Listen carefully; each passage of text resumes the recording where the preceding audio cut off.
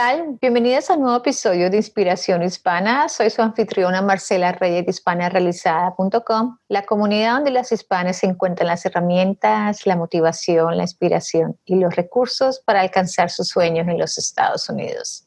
En el episodio de hoy tengo como invitada especial a Marcela Rieta. Marcela es una empresaria mexicana muy respetada en el campo de la medicina holística y alternativa, radicada en California, cuya creatividad la llevó a fundar su propia empresa y a crear una amplia línea de jabones de aromas vigorizantes y cargados de energía, los cuales distribuye a través de la línea de tiendas Whole Foods. Su empresa se llama Majestic Bless Handcrafted Soaps. Comenzó en el garaje de su casa con solo mil dólares, los cuales consiguió a través de GoFundMe. Esta mujer de excelente actitud nos comparte su historia de realización en los Estados Unidos a continuación. Marcela Tocaya, muy bienvenida a Inspiración Hispana. Muchísimas gracias por tenerme, qué emocioné. Bueno, cuéntanos cómo fue tu llegada aquí a los Estados Unidos. Pues eso fue hace muchos, muchos años. No te voy a decir cuándo fue porque eso sería revelar mi edad, pero digamos que fue en los ochentas Llegué yo a este país junto a mi madre, indocumentadas. Mi mamá en ese tiempo buscaba un mejor futuro para su hija. En ese caso fui yo y recuerdo muy claramente, creo que son cosas que pasas por la vida cuando eres muy pequeña que se te quedan grabadas en la mente. Cada que lo recuerdo, haz de cuenta que lo estoy reviviendo. Eh, yo crucé la frontera junto con unos tíos y mi mamá tuvo que cruzar por otra parte de, de la frontera y yo recuerdo que mi mamá era lo todo. Imagínate, para una niña de tres años, mi madre era el mundo y de repente mi mamá no estaba. Yo me sentí abandonada, me sentí que nadie me quería, pero ese era el proceso mental de una niña de tres años. Y total, llegamos, nos reunimos aquí, se llama East LA, el este de Los Ángeles. Y pues lo demás es historia. ¿Qué te impulsó a pasar de ser ama de casa a emprendedora?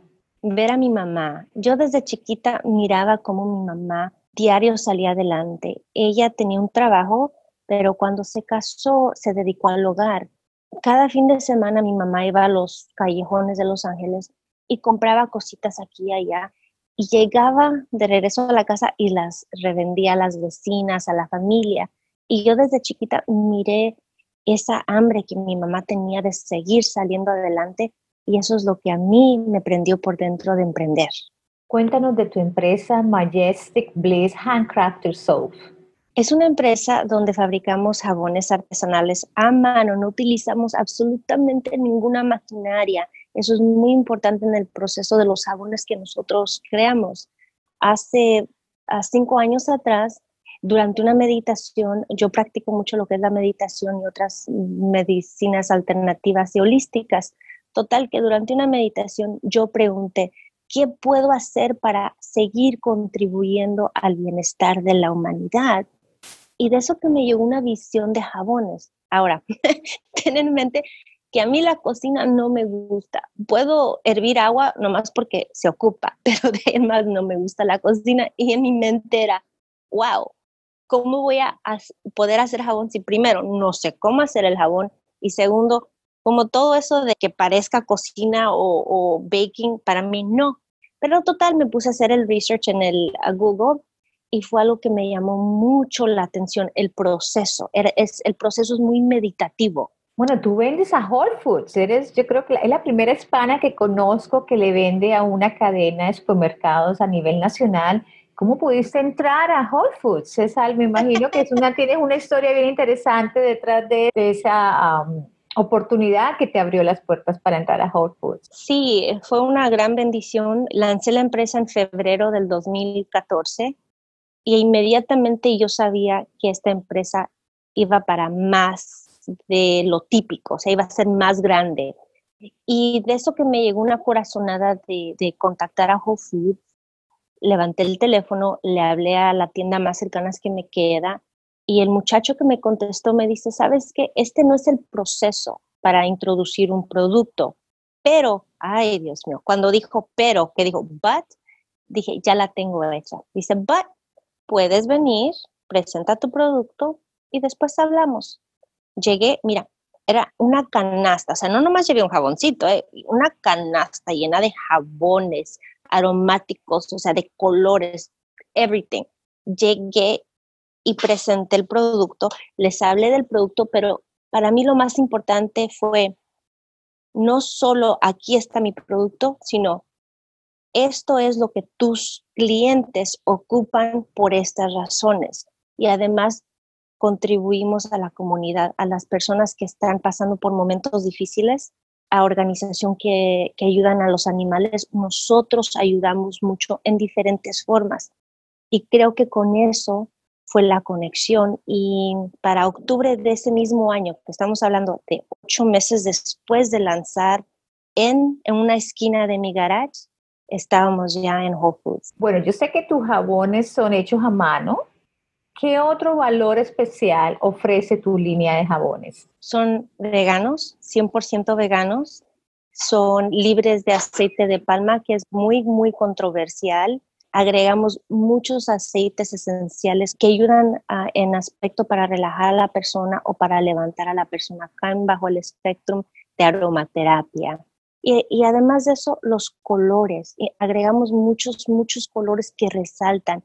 Y cuando la persona camina al lado de los jabones, lo primero que les llama la atención son los colores. Segundo, el aroma. Tercero, la textura y pues cuarta, ya cuando los usan en su baño, notan esa diferencia. Más le agrego un poquito de magia, como te comentaba, yo practico todo lo que es la medicina holística, le agregamos intención de bienestar y la persona, como todo es una vibración, lo siente. Estoy segura que tuviste que afrontar y vencer muchos obstáculos. Cuéntanos algunos de ellos. Creo que todos. bueno, el primero fue Mm, no prepararme. Yo pensé eh, que como yo miraba la empresa en mi mente, la visión de que era una empresa grandísima, súper abundante, este, al principio, pues claro, no fue así. De 10 puertas que tocaba, una se abría, si de acaso. Entonces tuve que platicar con muchas personas, amigos, familia, que ya eran empresarios y agarrar ese feedback, o sea, ¿cómo le hago? Porque me estoy quebrando la cabeza y no llego a nada. Fue muy importante notar que uno tiene que empoderarse, tienes que recurrir a personas que saben lo que están haciendo en diferentes campos de un negocio. Ese fue mi primer obstáculo. Yo pienso que yo tenía el, ego muy grande para reconocer que no podía hacer un aspecto o varios aspectos del negocio, porque soy honesta, no soy perfecta y no, no sé todo lo de un negocio, sé varias cosas, pero me tomó mucho para poder librar ese aspecto y cuando sí lo pude lograr, delegar más bien, noté que la empresa siguió creciendo rápidamente. ¿Qué papel juega la creatividad en el alcance de tus objetivos empresariales? Todo, el 100%. Yo soy por naturaleza una persona muy creativa. Si no tuviéramos esa creatividad, que por cierto yo la tomo de, de mis ancestros, por cierto, todos los colores, soy mexicana, de la región alteña de Jalisco, hay muchos colores, aromas, no solo con la comida, pero con el arte. Yo recuerdo todo eso y eso quise transmitir por medio de nuestros productos y lo hemos logrado. Y tiene que ser creatividad también afuera de tu producto. Es creatividad cómo tratas a tu cliente. Nosotros tenemos en nuestra póliza interna específicamente trabajar con los clientes que tenemos, no solo clientes de nuestra tienda de online, pero también con ah, clientes como Whole Foods, es ok, sabes que me llegó este producto, ah, llegó dañado, que pasa muy raro, pero puede pasar. Ok, no te preocupes, hacemos esto y esto y esto. Tenemos que ser creativos en ese aspecto también. Y nos ha funcionado muy bien porque ponemos las necesidades de nuestros clientes antes de cualquier cosa. ¿Qué tan importante crees tú que es tener una buena energía y una buena actitud para las hispanas que están en camino de crecimiento?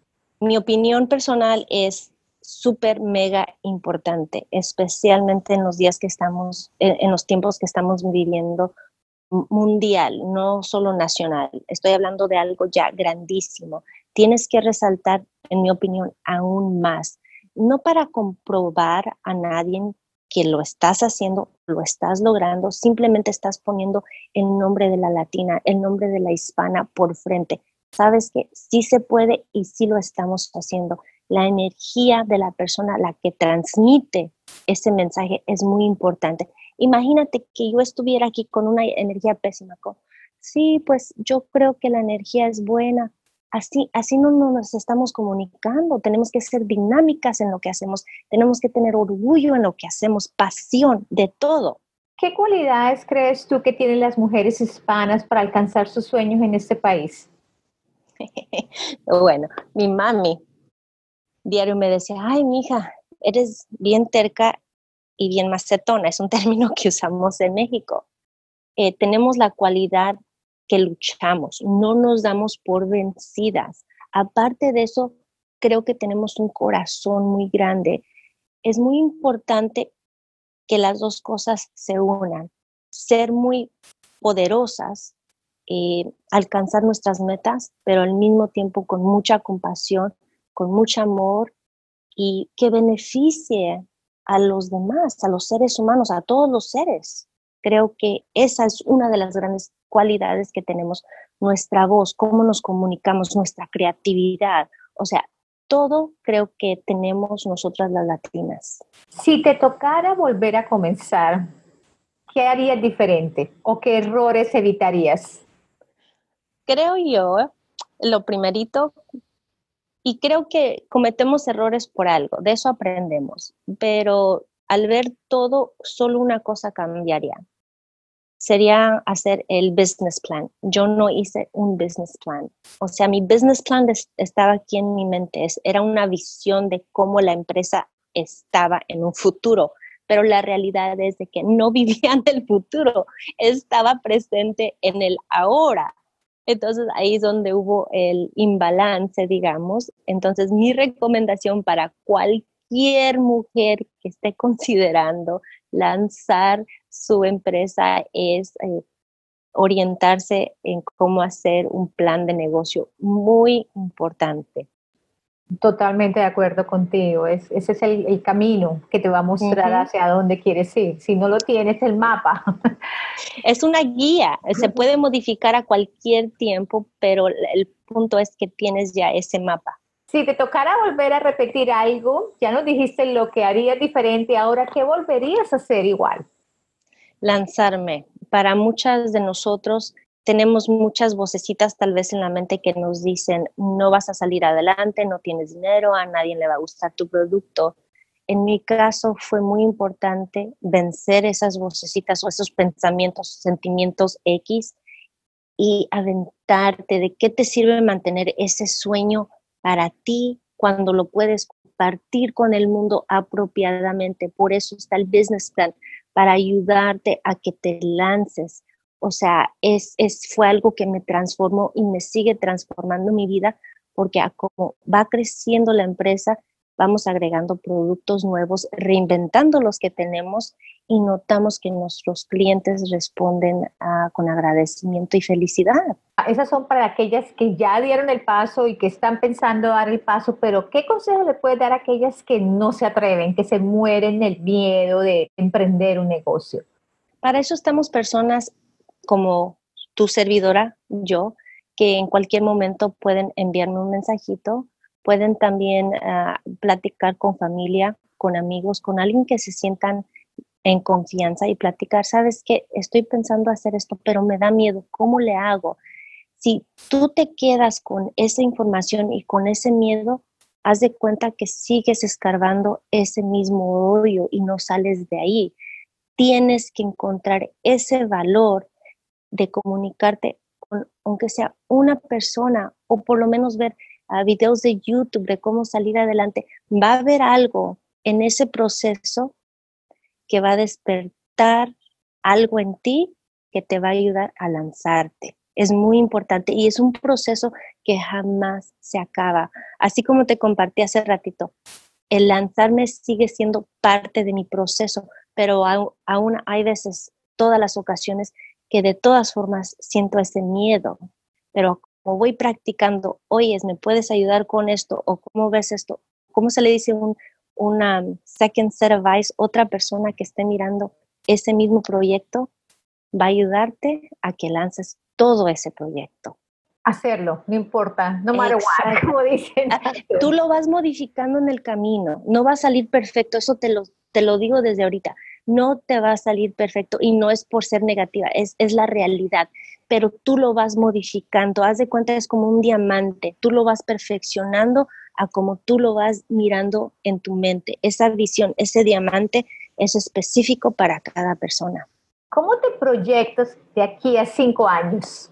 Pues la empresa sigue creciendo, gracias a Dios. Bueno, yo en mi caso, y, o la empresa, porque las dos tienen ramas diferentes, pero en la empresa sigue creciendo. Sin embargo, estamos a punto de lanzar nuestra tercera línea. Tenemos dos líneas, que es Majestic Bliss Soaps y tenemos una rama de jabón a base de leche de cabra. Esa ya también se lanzó hace tres meses en Whole Foods. Por cierto, Whole Foods nos pidió que creáramos esa línea para ellos. Y la tercera va a ser un producto que va a ser para el mercado general, va a ser un producto de calidad alta, claro está, pero más al alcance de cualquier persona.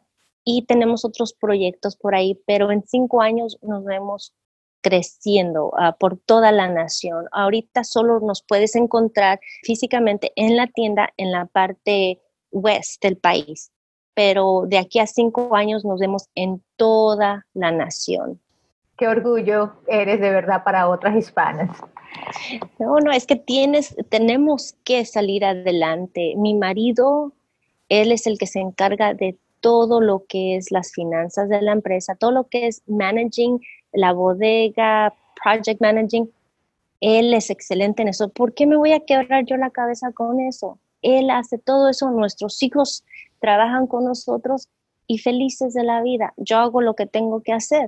Y para agregarle otra cosa, en menos de dos años y medio a lo que nos contó Whole Food es de que nuestra marca Majestic Bliss Soaps, creada por una latina, es la marca más vendida en la tienda. ¿Cómo ves? En su categoría. y sigue así, y sigue así hasta hoy. Qué, orgullo, de verdad eres una gran representación de, de que sí se puede en este país. Si te tocara volver a México, ¿Emprenderías tu propio negocio nuevamente o harías otra cosa? Claro que sí. Creo que eso de ser emprendedora ya lo traigo en la sangre y sea donde nos lleve el destino, creo que definitivamente lanzaríamos algo en donde estemos, definitivamente sin pensarlo. Creo que tomaría tal vez un par de meses para orientarme dónde estoy, cuál es nuestra cultura, qué puedo crear que no solo sea para, para compartir con la gente, pero también que pueda ayudar y empoderar a la comunidad local. Para agregar algo, una pregunta que no tenía planeada. ¿Una emprendedora nace o se hace? Las dos cosas.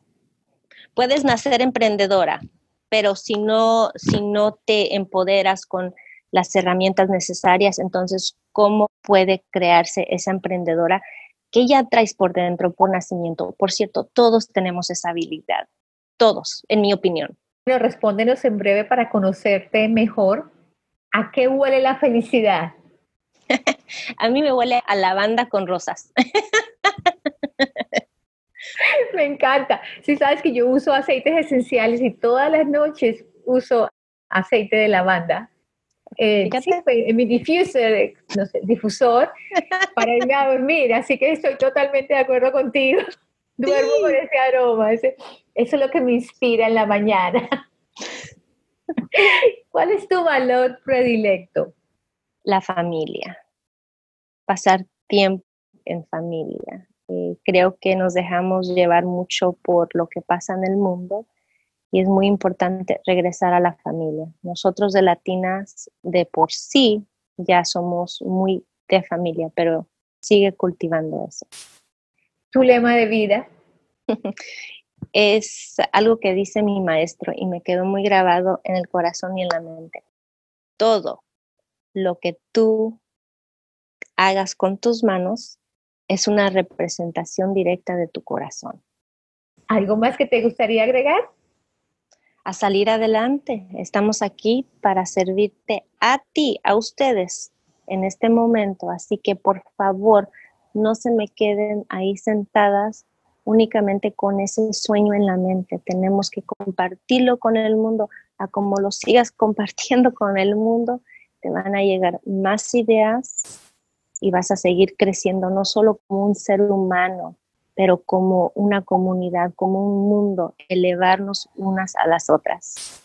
Marcela, muchísimas gracias. Excelentes consejos y por abrir las puertas de tu vida y te deseo muchísimos éxitos más en ese emprendimiento y de verdad eres un orgullo hispano y qué bendición que eres para muchas. Y sigue adelante. Igualmente, mil gracias por tener este espacio para poder compartir nuestras historias. Se te agradece mucho de corazón. Y a todas, muchísimas gracias por escuchar y espero verla de nuevo los corredores virtuales de hispanarealizada.com o en persona. Gracias, hasta la próxima.